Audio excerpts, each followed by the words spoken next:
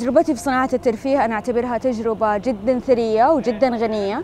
آه، الحقيقة إحنا من وإحنا صغار بنسمع كلمة أثر رسم الابتسامة آه، على وجيه الآخرين لكن إنك تعيش آه، تجربة بكل ما فيك شيء مختلف تماما.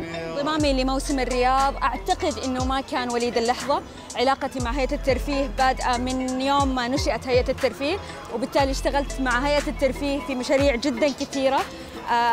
أعترف إنه هذا المشروع أو هذه تجربة مختلفة تماما عن كل التجارب السابقة، جاهد مع نفسك ومع عملك هو هذا اللي يفرق معك. عيون العالم اليوم كلها على المملكة العربية السعودية، ثقافيا، ترفيهيا وسياحيا، نبض الرياض يعيشك كل يوم تجربة، يعيشك كل يوم ثقافة منطقة معينة. آه زورونا لأنها عبارة عن رحلة ممتعة جدا راح تستمتعوا فيها.